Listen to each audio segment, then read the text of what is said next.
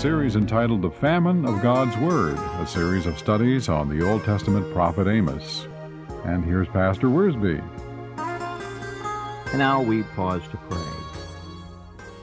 Thank you, Father, for the Word. We say this every time, but we mean it from our hearts. Where would we be without the Word of God? It's the lamp that guides us, and it's the food that nourishes us, and it's the sword that defends us, and the water that cleanses us. We just rejoice in the Word. Now help us to learn from it, and help us to practice what we learn, and to do so out of hearts that are grateful. We pray in the name of our Lord Jesus Christ, and for his sake. Amen. The prophet Amos is up at Bethel. This is where the king had his special chapel. And everybody rejoiced because Jeroboam II was such a religious man. But actually, the religion in Israel was just a facade. It was shallow. It was not real. People were going through the motions. They were singing and going to concerts, and they were going with their sacrifices and so God took uh, Amos of uh, Judah and sent him up to Israel and sent him, this ordinary farmer, herdsman, right into the king's chapel, and he's preaching the Word of God. Now, while he was announcing judgment for the Gentile nations, the congregation was quite pleased. Amos started in Amos 1 3, and he judged the Syrians, and then the Philistines, and then the people of Tyre and Edom, Ammon and Moab, even Judah. The people must have looked at each other and said, My, didn't uh, Amos come from Tekoa down there in Judah? And here he is uh, condemning his own nation? Well, this doesn't mean that Amos was not a good patriot. He loved his nation, and that's why he pointed out the sin. But in Amos chapter 2, verse 6, when Amos the prophet started on Israel, that was a different story. What does he do in Amos chapter 2, verses 6 through 16? Well, he presents Israel's sinful present in verses 6, 7, and 8, their glorious past in verses 9 through 12, and their terrible future in 13 through 16. He deals with the present, the past, and the future. Let's look at the present. Amos chapter 2, verse 6 Thus says the Lord, for three transgressions of Israel, and for four I will not turn away its punishment. Now he begins to list the sins of which they were guilty. Because they sell the righteous for silver and the poor for a pair of sandals. He's talking here about their injustice. They are taking bribes that the poor and the innocent might be found guilty. In other words, they want to buy themselves a pair of sandals, they need a new pair of shoes, they want some silver. And so here we have uh, crooked lawyers, crooked judges, crooked officials in the government who are taking bribes to hurt the poor. By the way, it's interesting to see how much Amos has to say about this sin of exploiting the poor. Chapter 4, verse 1. Hear this word, you cows of Bashan. He's talking to the women who are on the mountain of Samaria, who oppress the poor, who crush the needy. Here are the women saying to their husbands, Make more money. Get all you can out of those poor people so we can have more wine and more drink. Chapter 5 and verse 11. Therefore, because you tread down the poor and take grain taxes from him, for what purpose? though you have built houses of hewn stone, robbing the poor to build their own houses. Chapter 8 and verse 6. That we may buy the poor for silver, and the needy for a pair of sandals, even sell the bad wheat. They're selling all the poor products to the poor, and then they're taking money that hurts the poor. Uh, verse 6 of chapter 8 parallels, doesn't it? Chapter 2 and verse 6. Throughout the book of Amos, the prophet is crying out against their treatment of the poor. Now, he knew that the Old Testament law commanded them to care for the poor. Deuteronomy 15:7 If there is among you a poor man of your brethren within any of the gates in your land, which the Lord your God is giving you, you shall not harden your heart, nor shut your hand from your poor brother, but you shall open your hand wide to him, and willingly lend him sufficient for his need, whatever he needs. He's talking here about specific regulations of the land and the harvest, but the principle applies to all of us, doesn't it? We don't have to be under Old Covenant law to know we should love the poor and we should not allow them to be exploited. Exodus chapter 23, verse 6 You shall not pervert the judgment of your poor in his dispute. Keep yourself far from a false matter. Do not kill the innocent and righteous, for I will not justify the wicked, and you shall take no bribe for a bribe blinds the discerning and perverts the words of the righteous. It goes on to say you should not uh, cause trouble and oppress the stranger. In the book of Proverbs, Solomon had a good deal to say about caring for the poor. Proverbs chapter 14 and verse 31 He who oppresses the poor reproaches his Maker, but he who honors him has mercy on the needy. Uh, Proverbs is a book that talks a great deal about being kind and helpful to those who are needy. Chapter 17 of Proverbs and verse 5 He who mocks the poor reproaches his Maker. He who is glad at calamity will not go unpunished. Their injustice. It gets worse now. Amos chapter 2, verse 7 They pant after the dust of the earth which is on the head of the poor, and pervert the way of the humble that word pant after can be translated trample. They trample the poor into the dust. And they are trying to get everything they can out of the poor. A man and his father go into the same girl to defile my holy name. Well, they had immorality back in those days. This is probably some form of incest to think that a father would be such a bad example to his mm. son, or a son would be so arrogant in his sin that he'd take his father along with him. How low can we get when whole families dedicate themselves to sin? What a bad example. What a terrible, terrible defilement of God's holy name, injustice and immorality. And then he also talks about idolatry.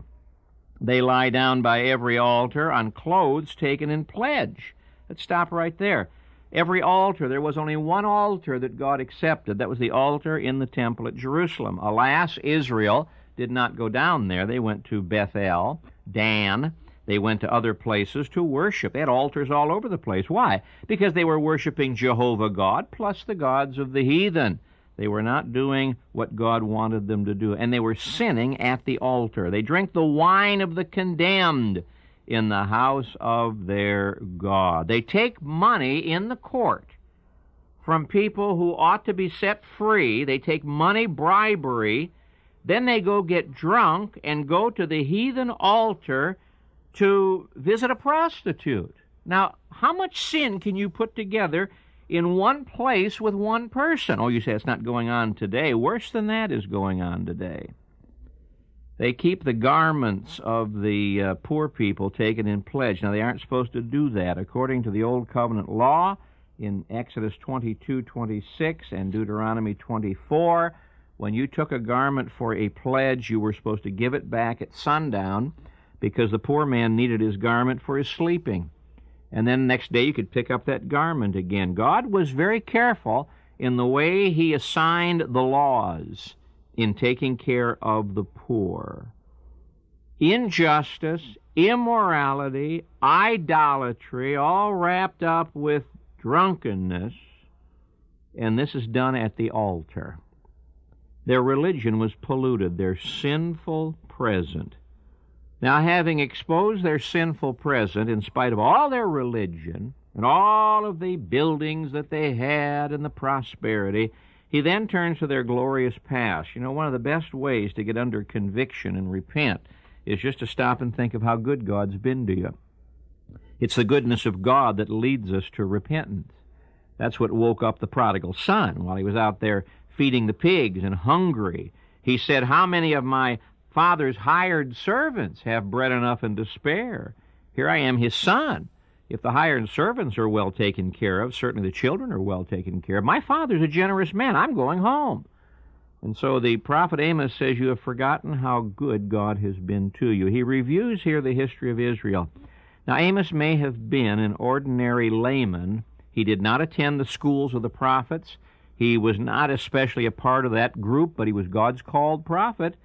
He may have been a layman, but he knew his Bible. I thank God for laymen, lay women in our churches who know their Bibles. In fact, I have met people in churches who know far more about the Bible than those who have been off to school. Again, I'm not uh, condemning education.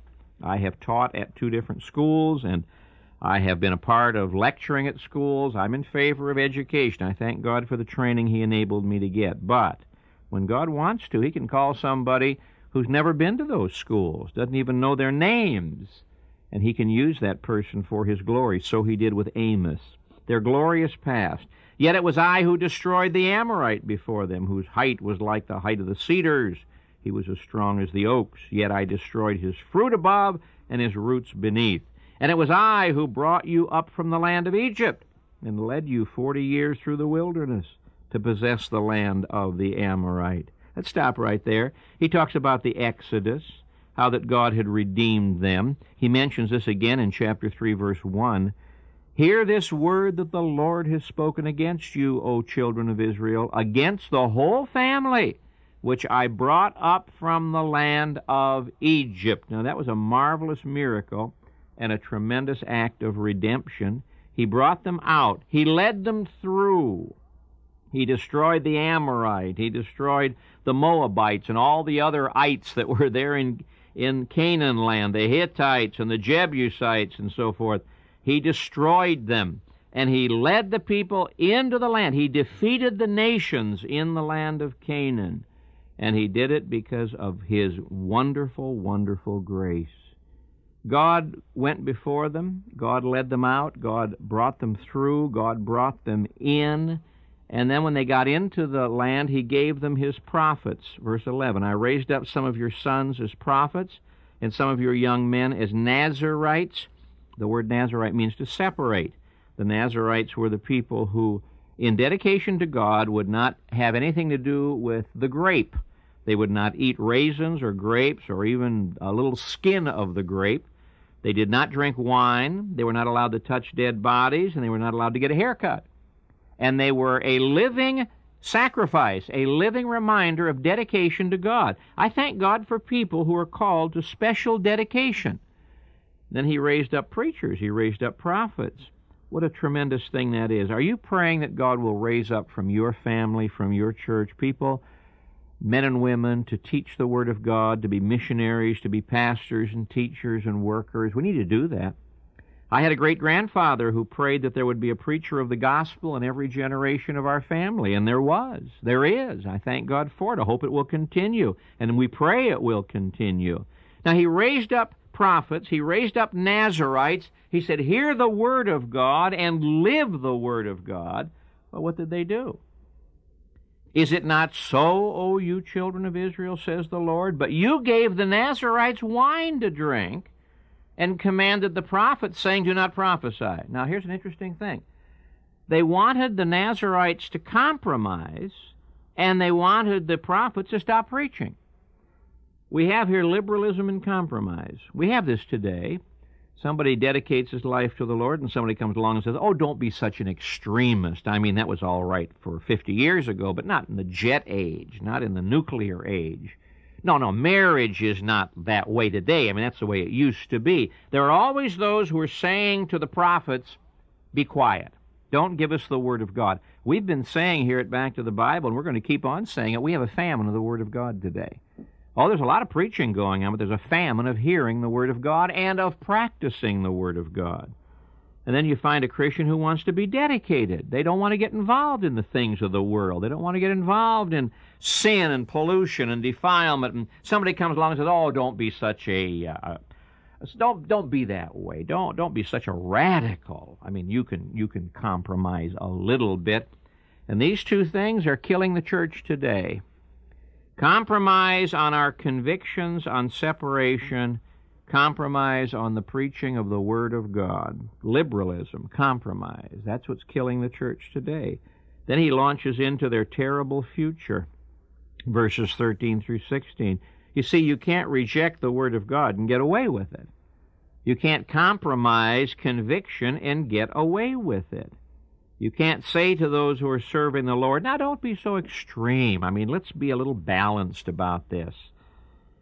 Behold, I am weighed down by you as a cart is weighed down that is full of sheaves. There's a farmer talking.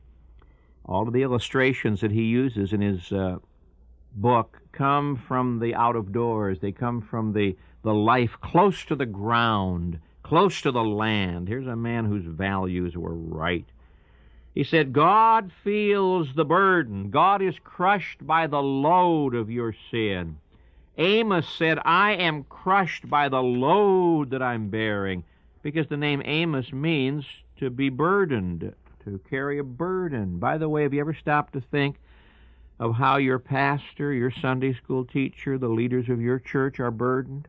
How maybe your grandmother and grandfather are burdened for you. They may just be weighted down. They're at the place in life where they ought to be enjoying life, but instead their children, their grandchildren are just weighing them down with the burdens because they are not living for the Lord. Well, God and Amos were crushed by the load, and yet the people were complacent. Chapter 6, verse 1 of Amos Woe to you who are at ease in Zion! There's where we are today as a church, at ease. Not at attention, not in the battle. No, no, we're at ease. We're taking it easy. The key word in the Christian vocabulary today is enjoy. Enjoy worship. I wonder how Isaiah enjoyed worship in Isaiah chapter 6 when he saw what a sinner he was. I wonder how John the Apostle enjoyed worship in Revelation 1 when he saw the Lord Jesus and fell down at his feet as a dead man. We want to entertain, we want to enjoy, at ease in Zion. Don't get too stirred up. Oh, says the prophet, we're weighed down. Therefore, flight shall perish from the swift. In other words, there's no escape. The runner is not going to make it. The strong shall not strengthen his power. Even if you can't run, you can stand and fight, but his strength will be not worth a thing. Nor shall the mighty deliver himself. He can't save his own life. He shall not stand who handles the bow. You say, Well, I can't run, I can't fight, and I can't stand, but I can sure use my weapons. He said, No, the bow won't be of any use. The swift of foot shall not deliver himself, nor shall he who rides a horse deliver himself. The nation of Israel was very proud of its um, military establishment. They really had an army, and they had the equipment. And you know what uh, Amos is saying? He's saying the most energetic will not make it, the best equipped will not make it, the most experienced will not make it. Verse 16 The most courageous men of might shall flee naked in that day, says the Lord. What day? The day when judgment comes to Israel. And it came. It came. The Assyrians swooped down upon Israel, took them, and that was the end of the ten tribes of Israel. Now, God knows where they are, but that's not the point Amos is making. He is saying, You have a terrible future before you, in spite of your military, in spite of your experience, in spite of your courage, in spite of your equipment, in spite of all of your energy and ability. You can't run, you can't stand, you can't fight, and even the horses won't save you because judgment is coming. God speaks to us today and He says, What are you trusting? Is there sin that needs to be dealt with? And we need to say, Lord, is it I? Thank you for listening to Back to the Bible. Join us again tomorrow. God bless you.